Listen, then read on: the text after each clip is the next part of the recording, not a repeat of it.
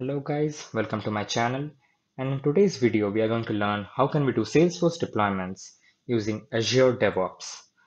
Now I'm assuming you guys are here because you either don't have much knowledge on Azure DevOps or Salesforce deployment or both of them. So this is the right place, right uh, video uh, for you guys and let's explore how can we work on them. So I have divided this series into three parts and uh, this is the first of them as the videos were be becoming quite long. So make sure you follow all the three parts uh, to have the entire process set up.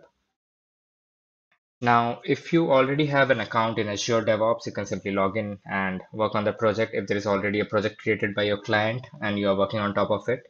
And if you guys uh, just want to do a demo and the learning purpose, what you can do is you can go to this website I'll provide in the description and you can create a demo uh, Azure DevOps project and you can work on all the things which we are working now. So I've already created a video on how we can sign up for Azure DevOps using this GitHub option. I'll provide that in the description as well.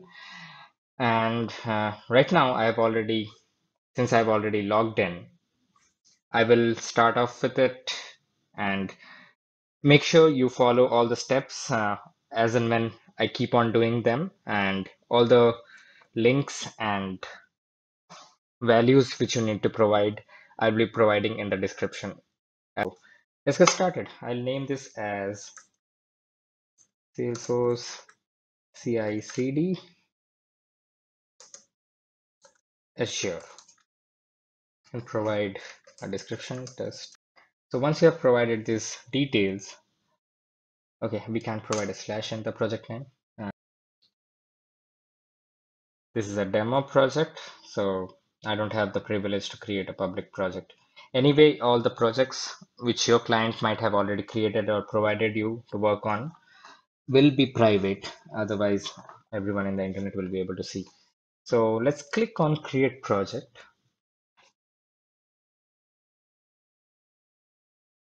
and we are in. So this is the name of the project which we created just now. There are a bunch of settings, Azure boards, which is similar to Jira. There is repo, which is a Git repo, where our code will be pushed. This is a version control tool. Then there is pipelines, which we can define. This is exactly similar to any other pipeline out there in the market, like Jenkins, then there is test plans which, which you can define, and there are artifacts. So we'll be uh, more concerned about only these two. This is more than enough to set up Salesforce CI/CD deployments. So let's get started.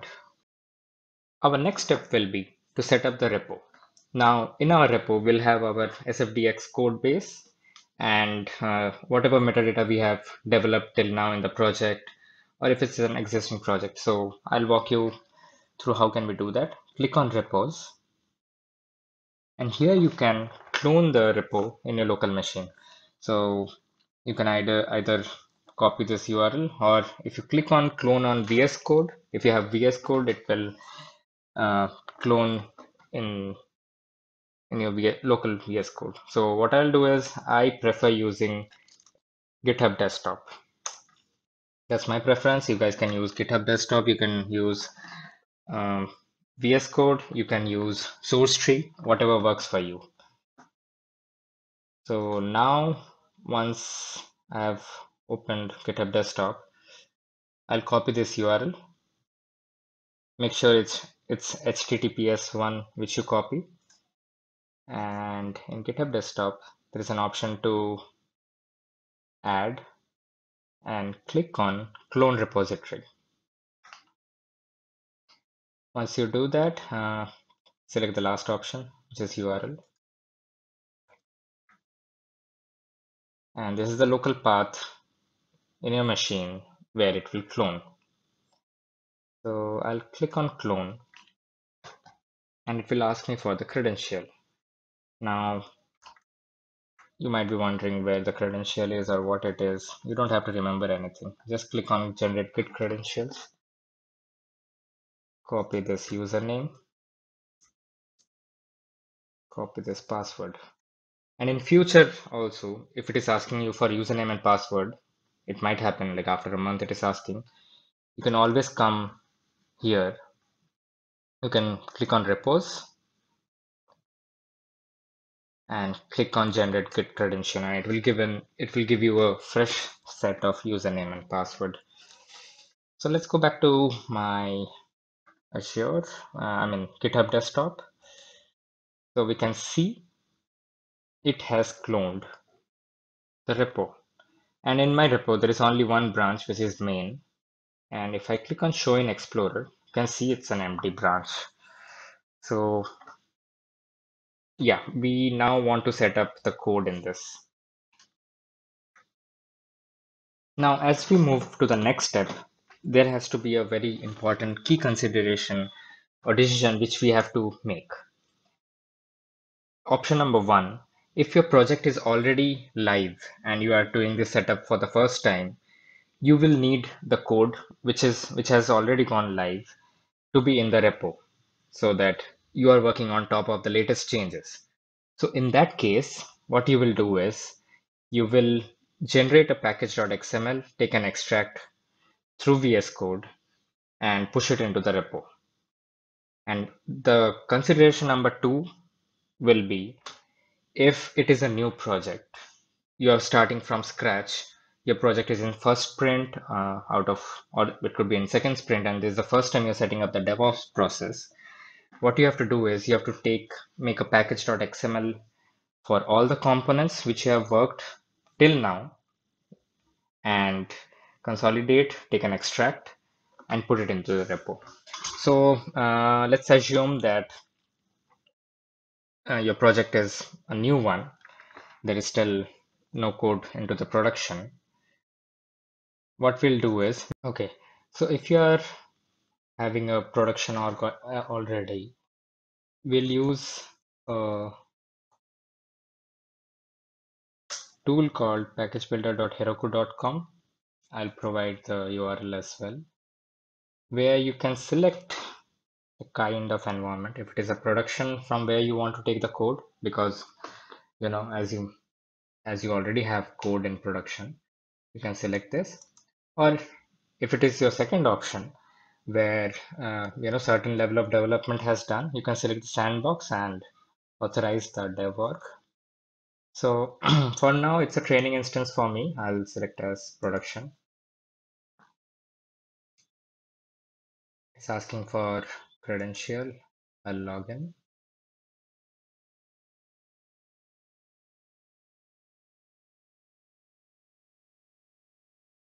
And I'll select the option as exclude managed. What it will do is it will exclude all the managed package components and click on get components. So what it will do is this tool helps me create a package.xml of all the contents which is of all the metadata which is present in our Salesforce org. Now, once you have a consolidated package.xml, you can always select certain number of components, take an extract and put it into the branch. Hello, test, test, test. So after waiting for good two to three minutes, I have got the package.xml of my entire org.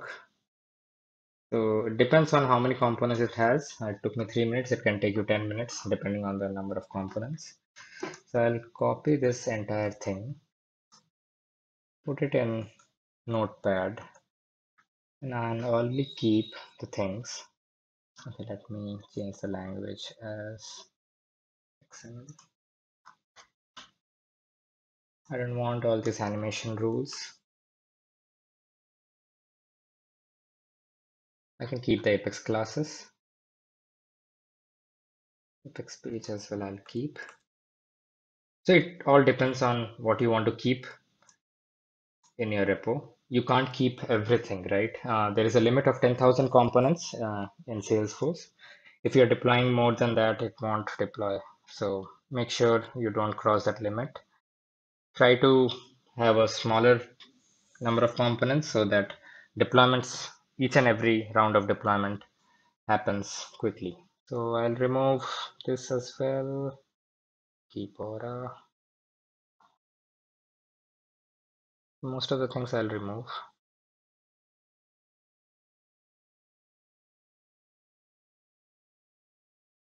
Hmm, custom labels, keep.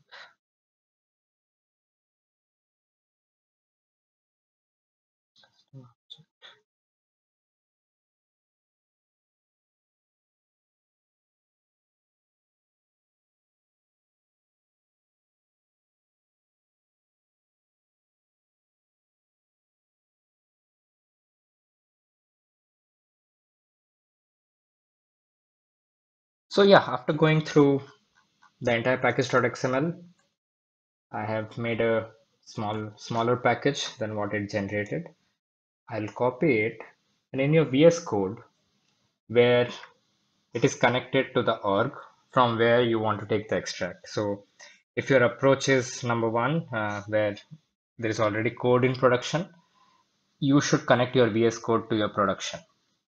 And if it is a development org, uh, as the second approach that uh, already development has just started, it's in first sprint or second sprint, and you're doing the DevOps setup for the first time, then in that case, you can just connect your dev org to VS Code.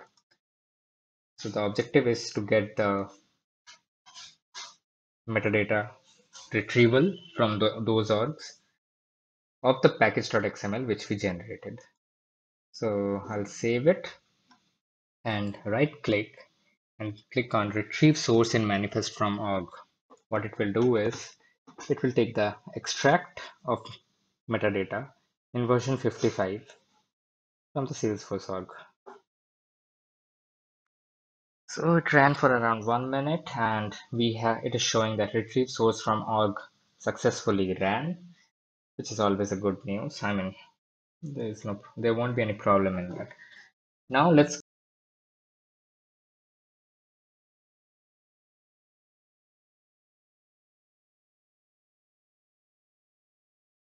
So once you click on initialize repo with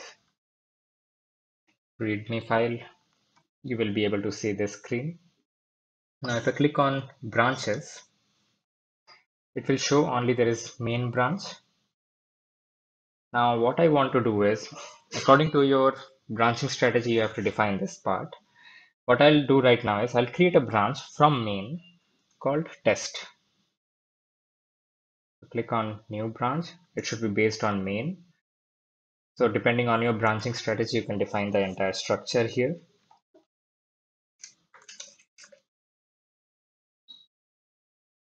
name of my branch is test and I'll click on create. This is an option to select any board items which you want to associate with this one. I don't want anything. I'll click on create. And you can see test branches already present. So once my branches are set, my next step will be to clone it. So click on repo and click on clone. Now you have an option to clone it in GitHub desktop. You can clone it in VS Code. You can directly do that. Good thing uh, is Azure and VS Code are both from Microsoft and you can clone it in uh, source tree as well. So it is your preference. I personally prefer GitHub desktop. So I'll copy this link, go to my GitHub desktop, click on add and click on clone repository. I'll select the last option of these three, paste it, and it is giving this error because this is an existing location. So I'll choose a different empty location.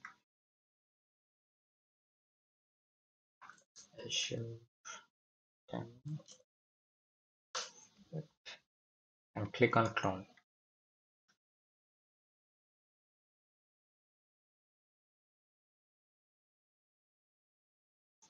All right, it is cloned. If it asks for a username or password, which it might, you can always click on generate git credential and it will generate a username and password. You don't have to remember them at all. You can always come and generate this git credential and paste it here. So, okay, uh, right now we are in the repository. And what I'll do is I'll select the test branch. So click on current branch and select as origin test.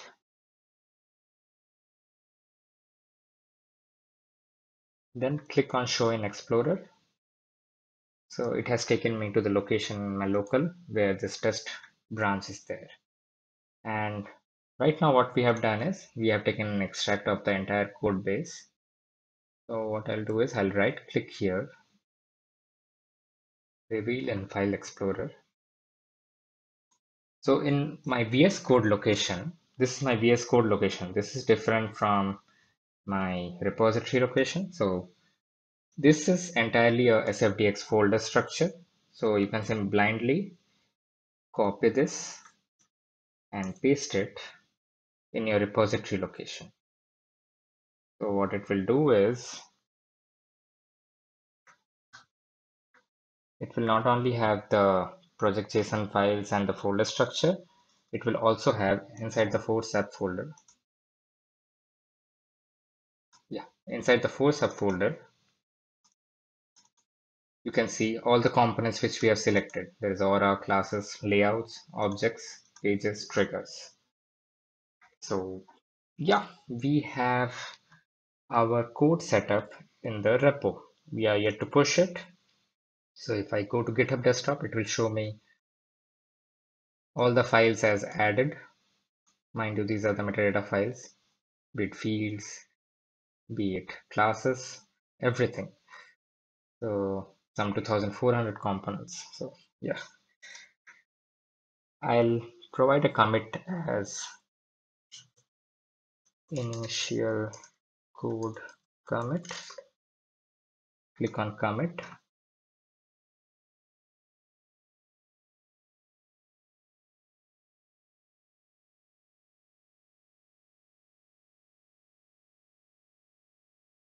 Might take some time for the first time.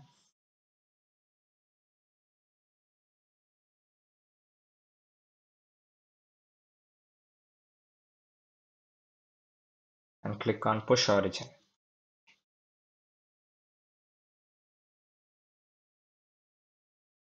Awesome. So your test branch now has the initial code which we have set up right now. So we have covered in part one till setting up the repository. Make sure you watch the part two and part three in this order so that you can have the entire end-to-end -end DevOps setup. And I'll see you in the next video. Thank you.